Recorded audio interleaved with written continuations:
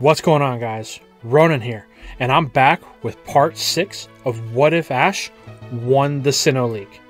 The last part seemed to be really well received with all of you, and I really appreciate it. Now, this part isn't going to be as long as the last one, but I do promise you there are many important details that will take place in this one, and some questioning of virtues. So, anyway, I hope you enjoy. Now, let's get into this next part.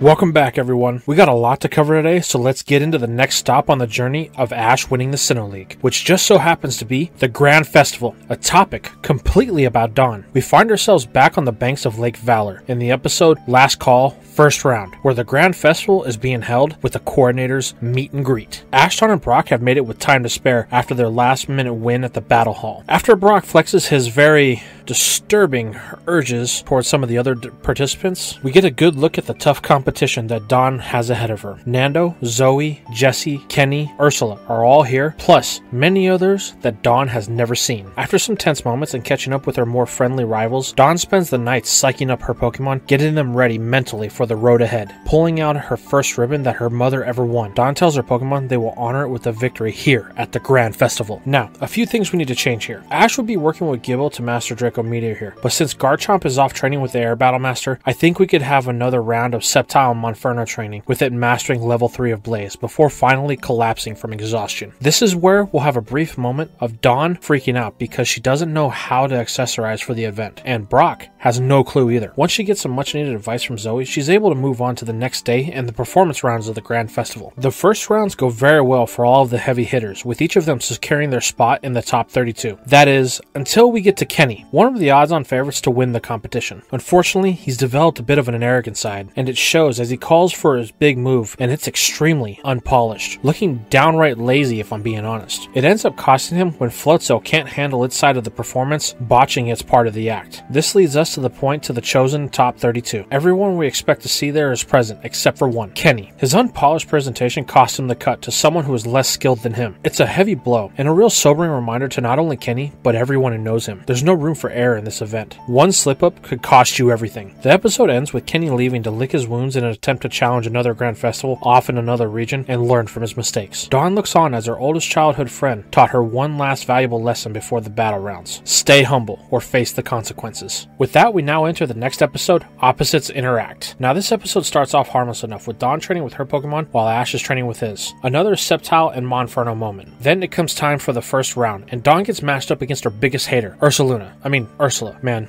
I've been playing way too much Legends Arceus lately. Anyway, this battle goes down the same as in the anime. Dawn takes an early lead due to Ursaluna's overconfidence, but it's this same overconfidence that allows her to easily take back the lead and create a huge separation in the points. Ursaluna doesn't even give Dawn a chance to display her abilities. It even gets to the point that the only way Dawn could win is with a double knockout. Then, in what I have to call as a pure Ash Ketchum moment, Dawn uses her opponent's own dig against her, when her Pachirisu uses it for cover to avoid any oncoming attacks to form her newest move, the Ice Chandelier. With a little extra boost from a hidden power, Pachirisu delivers what essentially is an ice rollout to both Gabite and Flareon, knocking them both out with 7 seconds left on the clock. This battle was close, and she almost fell prey to the problems that plagued her in the past, but her determination to never give up carried her through. And to wrap up the episode, we see the rest of the heavy hitters move on to the next round with their own victories. Now we come full circle in full festival circle. Man, either I'm getting lazy at these introductions to each episode, or the names are just getting lazy. Anyway, this episode has a lot of good parts and highlights the uniqueness of contest battles. There's a lot here, and I don't think we could do it all justice. But let's start off with the first battle Zoe versus Nando. These two exemplify what a contest battle should be. From using Sing to turn Lopunny into a ballerina, to using Psywave to create wings on Leafeon for its aerial ace. These two take it to a level that even Dawn questions if she can participate at. In the end, it comes down to a clash between Kricketune and Leafeon, with Zoe barely moving on to the finals. Now, on to the last battle of this episode that is between Dawn and Jessie. Now, I have to admit, this battle was rushed just so they can get to the finals in the very next episode, and I'm kind of disappointed in this. Even in the canon, this is a semifinals bout. It should not be glossed over like this, and more so to the fact that Jessie got here. It should have allowed this battle to be more interesting, as she did try harder than the previous Grand Festivals, especially with the writers knowing that Gen 5 was on the horizon and that there would be no more contests. Why not cut loose and let her and Dawn have a full on battle and let Jessie be an actual rival that was a real obstacle to overcome in the semifinals? But no, they made Jessie look like a total fool with Dawn possessing a very significant lead over her at the end of the 5 minutes. Now, I'm not going to go into too much because there's still a lot of stuff to cover, but I would like to think that in our version, with everything that Dawn has been through and Jessie doing more like the classes at Camp Thornberry, she would be far more skilled as a coordinator than in the main series. Not enough to beat Dawn, but enough so that it doesn't look like Dawn's second best battle of the Grand Festival happening in the opening round, giving Dawn the feeling like she should be in the finals, not just because she got a cheap win over an opponent that was underskilled. Now, with that rant over, let's get into our final piece of the Grand Festival a grand fight for winning. This is the final round between Dawn and Zoe. This battle is a crucial one. If Dawn can pull this off, then she will win everything, but Zoe won't be easy. This round starts off with the entrance of the Pokemon that'll be used in this battle. For Dawn, Togekiss and Piplup, followed by Glameow and Gallade for Zoe. Both appear to be even at first, as neither has seen the secret ace of the other being Togekiss and Gallade. Now the question is, with the changes we've made to Dawn and Ash in this journey, can Dawn change fate from her main series counterpart? Well, let's take a look. Dawn starts off strong with the Noirsphere Bubble Beam combo, but Zoe quickly sees through this using Dawn's own move to highlight her own Pokemon. I think that Dawn would kick herself because this is one of the first lessons she learned. The Pokemon of the stars, as she watches her points drain. But Dawn doesn't dwell long, looking to take control of this battle by ordering Togekiss to draw the attention of Zoe by flying up in front of them. She then orders a Hydro Pump from Piplup. In the main canon, Zoe's able to counter this with a Fake Out from Glameow and cost Dawn more points. But here, I think Togekiss would get ready to respond with a move that it was charging when Dawn told it to fly up. Sky Attack. Togekiss at this point would aim for the cat, but Gallade would intercept, blocking Glameow from the Sky Attack. This does cost Dawn more points, but it opens up room for a Hydro Pump to connect, finally knocking Zoe down closer to Dawn in points. The next exchange is between Togekiss and Gallade. When it fails a Vacuum Wave, and Togekiss is able to counter with an Air Slash, dropping Zoe even further, evening out the points with Dawn. The following altercation sees a Signal Beam Iron Tail combo collide with the Whirlpool Aura Sphere Special, erupting in a sparkling gleam. This again drops both points to even amount. Dawn then pulls ahead slightly when Safeguard outshines Swords Dance. This pushes Zoe to use Shadow Claw on Togekiss. Dawn at this point would call for a Sky Attack to counter, but she can see this is a trap, as Shadow Claw doesn't have any effect on a normal type. So taking a risk, she orders Piplup in with a counter. Zoe responds with a Psycho Cut from Gallade to intercept, but Togekiss is now free to charge in with an Air Slash at the command of Dawn. This is able to push Gallade back, helping Piplup, as the Shadow Claw fails, costing Zoe more points. She can't believe it. Whatever training Dawn has done has really helped her claim a new level of understanding of contests. With the gap between Zoe and Dawn ever widening, in the final attempt, as the last 30 seconds are on the clock, Dawn combines Peck Attack with a Sky Attack, creating a move of devastating power, while Zoe uses a Psycho Cut Thunderbolt combination to counter. As Gallade springs off Glameow's tail into the air, Dawn's point drops ever so slightly. The final attacks collide with an awesome power in midair, creating a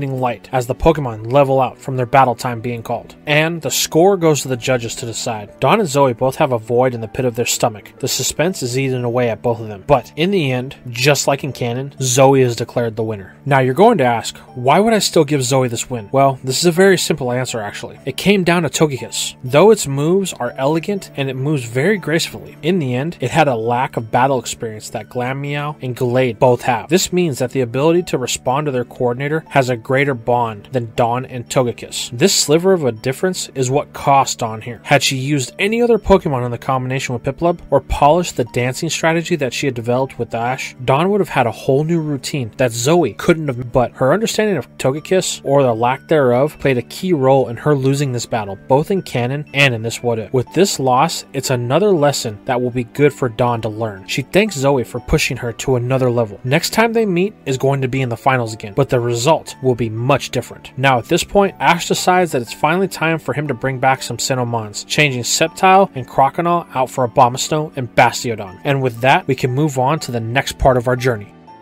With the departure from Lake Valor, Ash, Dawn, and Brock both have to head north. The next battle facility is known as the Battle Castle. Ash has been thinking about this battle ever since his last Frontier battle. Each facility is different in its own way. The structures of the battles, the Frontier brains themselves, they're unlike anything he's ever faced. True, Brock says, but you have competed at this level before. Your strongest trait is your ability to adapt in mid battle to challenges that you've been presented with. You've proved that in the last three. I have no doubt that no matter what the next one has in store for you, you'll figure it out. Then Dawn puts her her two cents in. Ash, you've grown a lot since coming to Sinnoh, and by extension, I have grown as well. There are times in battle I feel like something I've done is a move straight out of your playbook. Like the Ice Chandelier in the match with Ursula, Brock says. Yeah, the way I made that second one using my opponent's battle style to aid me, that was an Ash Ketchum move all the way. Yeah, you guys are right. It's not that I'm worried about the battles themselves, I'm more curious than anything. My limits are being pushed with each battle, but where do the limits of me and my Pokemon stop? Will we be pushed too far? Ash, you're doing the one thing that you do the worst, Dawn says. Oh, and what's that, he asks. Simple. Thinking. Stop that, and you're sure to win the next battle, no problem. Okay, okay, Ash says. You're right. Thanks, guys. Hey, it's what we're here for. The friends continue on their way to the battle castle, which ends up taking less than a week. When they finally do arrive, things about this place seem a little off. The aura seems very different than the other battle facilities they have been to up to this point. The group can't quite explain it, but there's something that they can't avoid. Ash's next battle is here, so the group heads inside. Once inside, Dad Bod Scott is as usual waiting for the group. Hey everyone,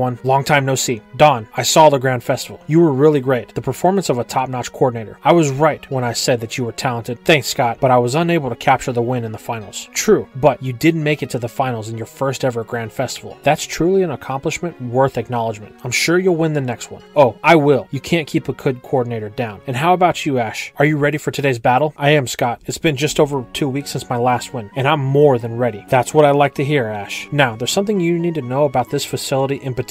Oh, what's that? Well, there are actually two Frontier brains here. Wait, what? Two brains in the same facility? Why? Ash asks. Well, that's an interesting topic, you see, Ash. Then the group hears an ear piercing cry ring throughout the castle. Derek! Then they see a man dressed in a very fine garb rush by them in a flash, replying to the call, Coming, Lady Caitlin, as he disappears to the other end of the castle. Who was that? Brock says. Oh, that was Derek, the castle valet, and the personal attendant of Lady Caitlin, one of the brains of this facility. Oh, I see, Brock says. Yeah, she can be a bit of a handful, Scott tells them. Well, she sounds needy, Ash says. Entitled is more like it, Dawn seconds. Uh, yeah. Well, should we let her know that we're here and that you are ready for your battle? Ash? I guess so, if Her Royal Highness has the time. Oh, don't worry, Ash. You will get a battle. The group then moves into the main hall of the battle castle, where they see the battle arena. Above it, on a literal pedestal, sits a young girl who the one known as Derek is waiting on hand and foot. He serves her tea, but is not the correct temperature, so she spits it out. He brings her food, and when she realizes it's not what she wanted, she throws it at the poor valet. Wow, she's really making a show out of this, Brock says. This girl even puts him off. She's a spoiled brat, Ash says. Um, Ash, you might want to watch what you say. Why, Scott? It's not like she can hear me from up. Then they look up, and Caitlin is glaring at them. Who are you? And how dare you enter my castle unannounced? Caitlin cries, as if she's offended by their presence. Caitlin, these people are with me. This is Ash, the trainer I told you about. The brain looks him up and down, seemingly unimpressed by the sight before her. She simply waves her hand. I'm not interested. Go battle another facility. You're not worth my time. She then calls for Derek again, who is returning from changing out her meal due to her disapproval of the previous one. Once he enters the room, all he hears is Ash. Why you stuck up little brat, he screams. How dare you look down your nose at us like that? Scott is trying to cool Ash down, but the brain has triggered him, and we are now beyond this point. Ash then goes on to call her every name under the sun that he can think of entitled, spoiled, self centered. The list goes on and on and on. But Caitlin has spoken. She just ignores him. Ash continues on his screaming tirade, but is then interrupted by Derek. Sir, though Lady Caitlin can be difficult, I will have you cease your disrespectful tone and choice of words toward her, lest I take action. This gets the attention of our heroes. Wait, how could you defend her? Dawn interjects. She is my employer. I am responsible for defending her honor and making sure she is comfortable at all times. Scott then speaks up. Derek, this is Ash, the challenger I told you about. He is here for his battles. Well, I'm afraid that after the way he handled the situation, he will be leaving empty handed. You heard Lady Caitlin. Now, I must ask you to leave. Derek then turns to bring the long awaited mail to his master, leaving everyone speechless. Ash is now seeing red. Scott, this is supposed to be a frontier brain? I expected better. She's no trainer. She's an incompetent, spoiled child. Uh, Ash, you might want to hold your tongue. Why? It's not like she's gonna do anything about it besides demand that we leave. It's not her you have to be worried about, Ash. Oh yeah? Then who? As he looks up to see Derek looking him down with a death gaze. Him, Scott says. Remember when I said there were two brains in the battle castle? Well, Derek is the second one. He then says something to Caitlin, followed by turning to rejoin the others on the battlefield. Ash stares at Derek. The looks in his eyes, they have changed. Is this the strange feeling I was getting? Ash thinks to himself. You there, boy. Boy? Ash questions. You are called Ash, are you not? Uh, yeah? Well, I will not tolerate the disrespect you have shown, Lady Caitlin. I warned you. Now you will battle me. Battle you? Yes. This is what you are after, is it not? As Derek holds up his battle symbol. Well, if you can beat me, then it's yours, but only if you can beat me. So Scott was right. You are a brain. Okay, what's the stipulations of this battle facility? Well, that's not for me to decide, as this is the residence of Lady Caitlin. It is solely her choice. Ash looks at her as she slowly eats her meal, without a care in the world, giving no attention to Ash or even Derek. Hey, are you gonna stop stuffing your face for five seconds to name the terms of our battle? Caitlin just ignores them to continue eating, but Derek, now infuriated with Ash's remarks, snaps at him. How dare you? The only one being disrespectful is you. You will wait until Lady Caitlin is ready to address you. This outburst grabs the attention of everyone in the room, even Caitlin. Well, you have angered Derek, which isn't something easily done. I must say, now you have my attention. Ash, was it? Didn't Scott say you were some sort of high class trainer? Uh, yeah, Scott says. Ash is a champion of. But before Scott can finish, Ash cuts him off to finish the statement. I'm a champion of the Kanto Battle Frontier. Derek is again enraged by Ash's demeanor. As he goes to say something, Caitlin interrupts him, which seems to calm him down a bit. So, a champion we have here. Well, your decorum is unbecoming of a champion, but a champion must be shown with respect, even if that is one virtue he is in need most teaching of. Now Ash is confused. He's unsure of what she just said. Scott sees this, whispering that means she acknowledges who you are, trying not to make it obvious that he is interrupting what Caitlin is saying. I have decided, Caitlin says, the terms of your battle. A three on three battle. Yes, that sounds nice. Either trainer can make any substitutions, but only one per Pokemon. This will be an all out battle. No other restrictions will be in place. Finally, Ash thinks we can get started, but Caitlin isn't finished. Though it pains me, Derek, you must inform our challenger of his award. Award, Ash thinks? Derek bows. Yes, my lady. He then turns to Ash. As a champion of the Battle Frontier, here at the Battle Castle, you are granted an award. Normally, when we are challenged, we award castle points to the challengers that they may redeem for advantages if they have enough points. But you will be awarded the champion's advantage. What does that mean? Ash questions. That's simple. You can make one request. Any request, and it will be granted. For instance, if you wanted me to hand over this symbol without a battle, then all you have to do is ask. Or you could change the stipulation of the battle. Ash looks at the castle valet. So anything I want, you say, yes, anything. Ash thinks about it. Then he turns to Caitlin. My request is simple. After I beat your servant and claim his battle symbol, you will battle with me so I can claim yours. Interesting, Caitlin says. Very well. If you can beat Derek, then I will battle you. If. Good, Ash says as he smiles. He then turns to Derek. Are you ready? The valet asks. I've never been more ready, Derek. Well then, take your position and prepare to lose. There's that look again, Ash thinks. Does this guy have a different personality or something? Oh well. The two trainers take their positions. Derek choosing his first Pokemon to be Staraptor. The bird emerges from its ball, and there is a clear difference between it and Ash's regional bird. Not only is it bigger, but it is a different color. Ash gulps. He can tell that this bird has been through some battles as it carries its scars with pride. So, Ash, shall we begin? Derek asks with a sinister smirk. Well, Ash got the battle he wanted, and he's not going to turn tail and run now. With no hesitation, he sends in his own Staraptor. Once his emerges from the ball, the size difference is even more evident, as Derek's towers over his. Well, no matter, we will still take this, Ash thinks to himself, ordering a steel wing to start the battle. Derek, unimpressed, orders a double team, avoiding the attack. Really? Is this the best you got, Ash? Not one to back down, Ash orders an aerial ace, which connects this time. But Derek, still calm, orders another double team, even though his bird just took damage. Ash feels like this is a trap, and he wants to close out the battle before the double team gets out of hand. So he orders a Brave Bird, hoping it will end it. It is at this point, Derek changes his move to agility, allowing his Staraptor to pull ahead and outpace Ash's, disappearing in the process, forcing the move to fade out before it connects. Wait, what? Where did it go? Then you hear from Derek. Brave Bird, as his bird streaks across the battlefield with the burst of fire connecting with Ash's, sending it careening towards the ground. Staraptor, pull up, pull up, Ash yells, but nothing. It barrels closer to the ground. With one last call from Ash, it is able to regain its bearings just before it would come in contact with the castle floor. Staraptor pulls up, barely grazing the battlefield, but it struggles to regain altitude, breathing heavily as it climbs. Derek, however, doesn't wait, ordering another Brave Bird. Ash, urging Staraptor to get out of the way, orders it to use another aerial to counter. The moves collide with both Pokemon taking damage. Smart, Derek says. If you would have called for Brave Bird, then you would have lost this first match. So, you minimize the damage with Aerial Ace. Ash says nothing, just looking at Staraptor. It's really winded. Ash decides to recall it, knowing full well if it continues, it won't make it. Giving up so soon. We were just starting to have fun. Ash grits his teeth. Derek has really set him off. His Staraptor is nearly untouchable. The only way he will be able to beat this is in one shot. In that case, Pikachu, you're up. The electric mouse jumps in as it's been itching to battle since it started. So Pikachu is your next choice, is it? It is, Ash says. Pikachu was my first Pokemon, so if anyone can beat your bird, it can. We'll see, Ash, as the now calm Derek orders another Brave Bird. Then something dawns on Ash. Brave Bird is the only move that Derek has called that causes damage. I wonder, Pikachu, counter with Iron Tail. The mouse does so, preventing any damage on its end, but Staraptor still gets hit with recoil from its move, and now it's starting to lose stamina. I wonder if that's what I think it is, Ash thinks. Pikachu, use Quick Attack, but the increased stats of the bird cause it to miss. I thought so, Ash says. Derek, curious, oh,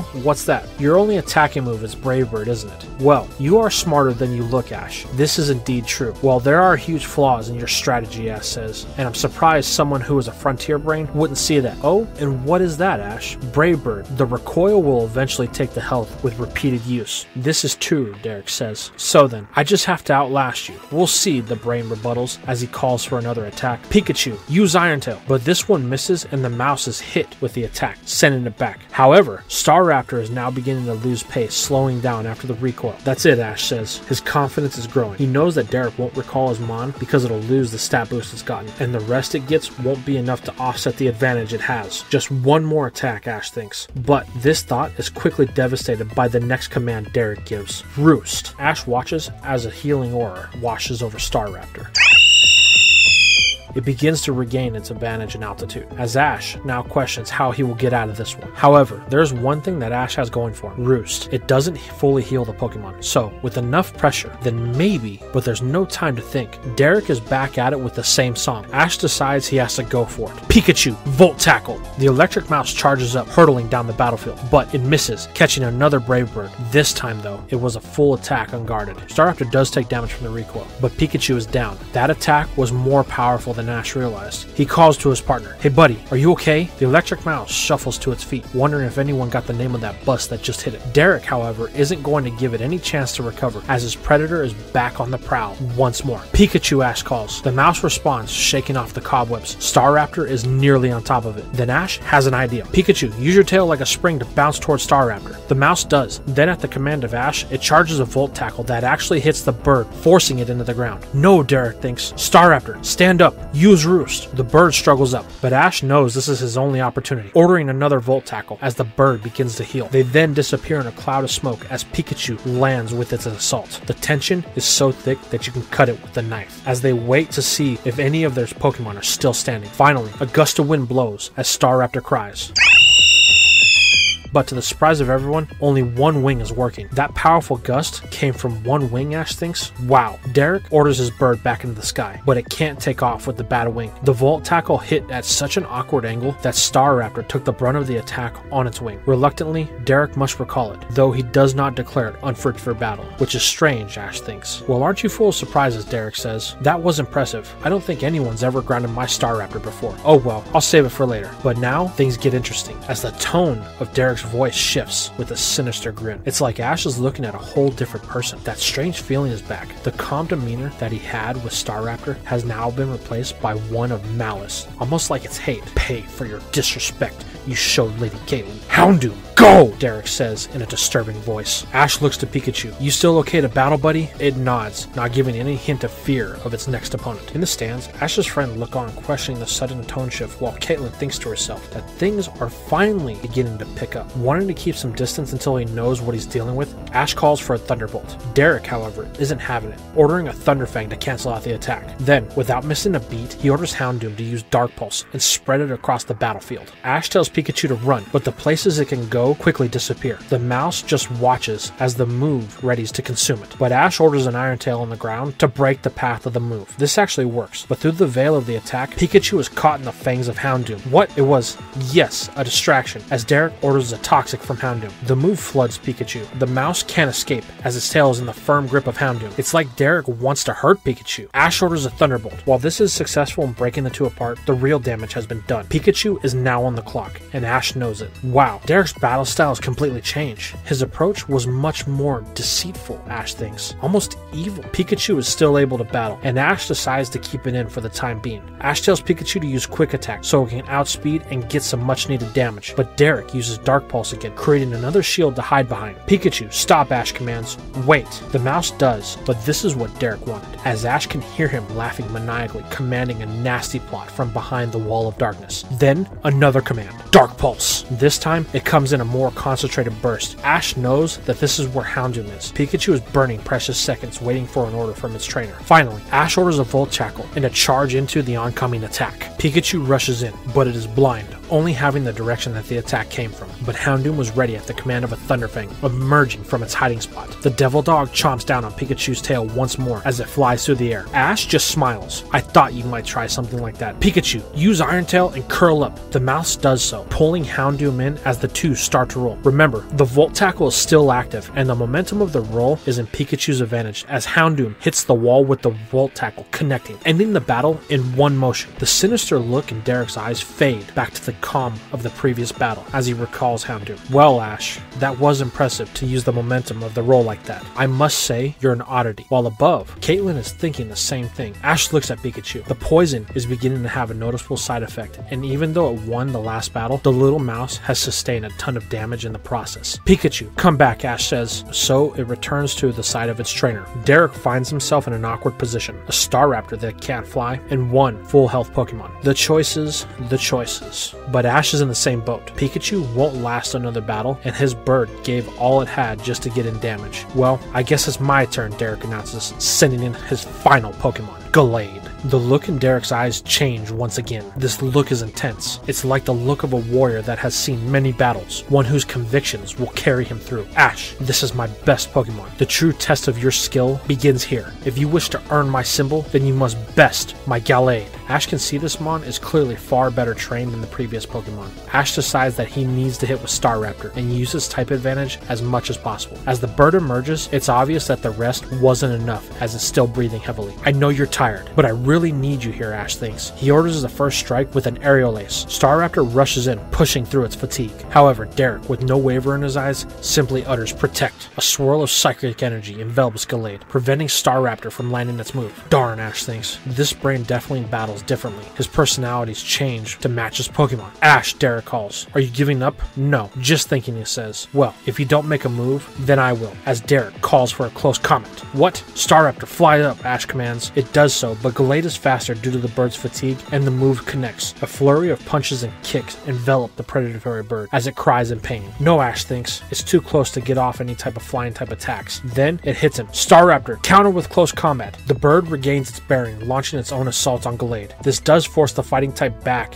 inflicting some damage to it. Unfortunately, Staraptor has reached its limit, landing as it can no longer sustain flight. Are you okay? Ash calls to his emo bird, but it's unresponsive, breathing heavily just to stay conscious. Well, I guess it's time to end this, as you have no more recall. Gallade, you Psycho Cut. The warrior Mon extends its arms as the blade begin to glow with psychic energy. Gallade takes its stance, readying its attack. Go, Derek command. Ash has a split second to make a decision. Call for an attack or stop, he yells. I declare Staraptor unfit for battle, as he recalls it. Well, this boy does have a sense of honor after all, Derek thinks. Meanwhile, Caitlin and the rest look on without saying anything. Well, I guess that evens up the Pokemon left, Derek says. Yes, it does, Ash replies as he looks to Pikachu. It's taking too much damage to continue at this point. If it goes in, it'll lose as well. Ash makes the decision that he has to go with the new choice. But who? Monferno is outclassed here. Spiritomb still won't listen, which Ash still needs to figure out if he wishes to have any chance at beating his rivals. And he doesn't think Abomasnow has the experience necessary to best Gallade in a battle. That only leaves one choice on his current team, Bastiodon. Though it is at a type disadvantage, it has the defense to contend with the attack of this powerful Gallade. Ash raises the ball as Caitlin and Derek curiously look on, wondering what Ash's next choice will be. Then he calls it, surprising everyone. Bastiodon, I choose you. As the Iron Fossil emerges in its defensive brilliance, Derek is puzzled by this choice. Why would Ash choose a Pokemon with a four times weakness to his? I hope you're ready, Derek. This battle is far from over. The look look in Derek's eyes say it all. His resolve won't be bested by this boy, and he won't let this choice change that. Well, Ash, you have guts. I'll give you that.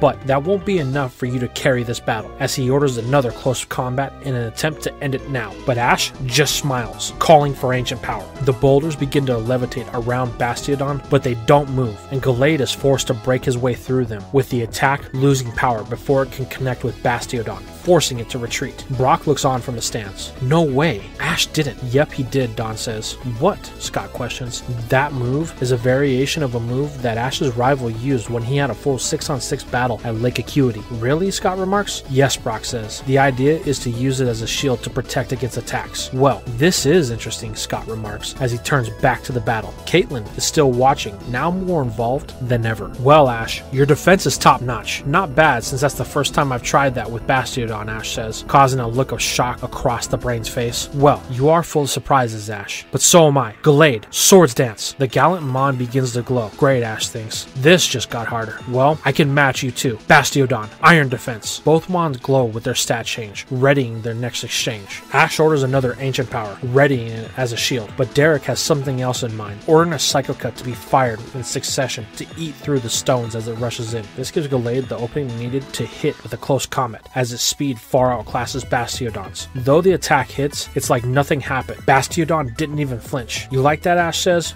Bastiodon took the move on its thickest part of its body, its face, the literal shield. Ash smirks. Wait, you wanted Gallade to get in close? Derek says. Yep, there's no way we would be able to hit it if we went after it. As Ash calls for a flash cannon, Gallade is too close to dodge, taking the attack at point blank. This isn't enough to put it down, but it is enough to cause some serious damage, as Gallade retreats, smoldering a little from the blast. See, Derek, you're not the only one that could change his battle style mid battle, Ash taunts. So he's not going to attack, he's just going to wait for me to attack, then counter. This prompts a change in Derek's approach. Gallade, use close combat on the ground. It does so, sending a barrage of stones flying toward Bastiodon. Wait, Ash thinks, why would he? Then it becomes clear as Gallade uses the stones as cover to get in close again. This time Ash doesn't have his shield up, so he has to go on the attack, ordering Flash Cannon to break away the stones hurtling toward him. As the light envelops the area, Ash loses sight of Gallade. Before he knows it, the Mon is above Bastiodon in the air, with Derek giving the order for another close combat. No, Ash thinks, this isn't good. Bastiodon's weakest point. With little room for error and little time, Ash calls for another iron defense to minimize the damage. Gallade pummels on the back of Bastiodon as it cries in pain. Once the assault subsides, Gallade returns to its side of the field. Ash looks to his Pokemon. Things don't bode well for the young trainer. It's down and unresponsive to Ash's calls. Well, I guess this is it for this battle. Though your Bastiodon fought well, I'm afraid in the end, it didn't have the defense you were hoping for. The ref prepares to call the battle when they are stopped by Caitlin. Wait, she demands. It's not over. But Lady Caitlin, it's clear that this Pokemon can't continue. Caitlin just glares at Derek, as if to say, How dare you question me? And with what seems to be some sort of glow in her eyes for a brief second. Ash sees it, but thinks nothing of it, more concerned with this Pokemon. But as Derek is left in a stumped manner, Bastiodon begins to stir, slowly bringing itself back to its feet. Wait,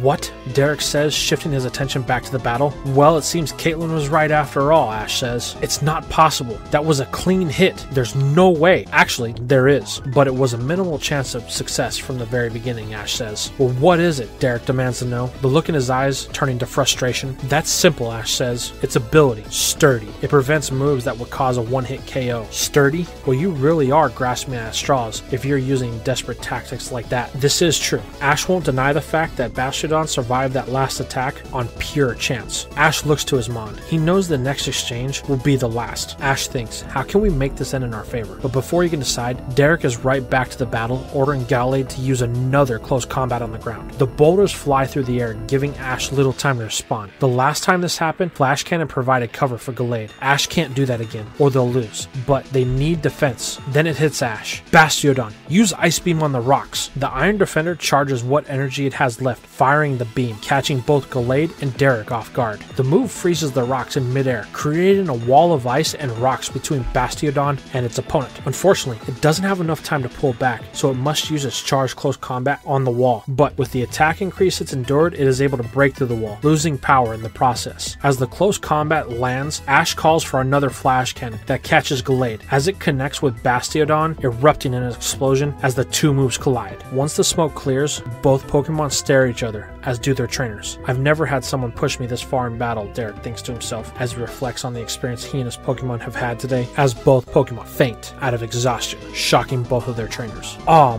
man, I thought we had that one, Ash says as he recalls his Mon. Derek, silent, recalls Gallade. Ash looks at Pikachu. The poison is still in effect, but it hasn't taken any new damage as the lack of movement has prevented further spread. Well, buddy, are you ready? Ash says. Pikachu nods. It jumps back into the battlefield, but still showing the effects of the previous battles. But there is no response from Derek. He looks on in puzzlement. He knows that Derek still has Star Staraptor left to battle. Sure, it can't fly, but it can still battle. Ash gets ready to ask Derek if he's ready, but he finally speaks. I concede, the brain says, shocking everyone in attendance. My last Pokemon can't fly, and as it can't, the only attacking move I have can't be performed. The ref then calls it, giving Ash the win. Derek then walks to Ash's side. Ash, in the beginning, I thought you were someone who possessed no virtues or decorum, but throughout the strain of this battle, you showed me you possess them in abundance. Though your manners could still use some work, I present you with the honor symbol to show proof of your wins against one of the two frontier brains of the battle castle. Ash takes the symbol, thanking Derek for the battle. He wasn't sure if he would win with the way the tide of the battle kept changing along with his personality. I do apologize for that. When I battle, it brings out different sides of me, sometimes more vicious sides of me, but no matter, you still pulled through. Ash celebrates his win with Pikachu. Yes, our fourth symbol. Everyone approaches Ash. Great job, Scott says. Thanks. With a day's rest, we'll be back tomorrow for our second battle. I don't think so, Caitlin's voice rings out from above. Wait, you said I could name my any prize I wanted, and I said if I won, I would battle you as well. True, Ash, that was your prize, and I did agree to those terms, and you will get your battle now.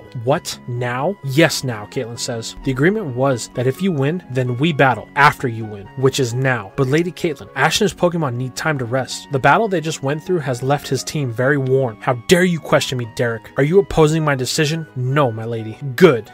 And that's all we have for part 6 of What If Ash won the Sinnoh League. So what do you guys think about this part? How did you feel about the battle between Dawn and Zoey at the Grand Festival? Do you think that I'm right in the fact that Dawn still should have lost here? Or do you think that Zoey should have been the one who lost? Let me know in the comments down below. Also, how do you feel about the battle between Derek and Ash? I know that this battle was a little bit different than the previous three in the last part, but I really wanted to stress the difference between the Frontier Brains. Not all of them are the same. And with Derek, I really wanted to stress the fact that he does have sort of a multiple personality going on and it was reflected in his battles. So, how did you feel about the way I wrote that? Do you feel I could have done better? Do you feel like I could have done worse? Let me know in the comments down below.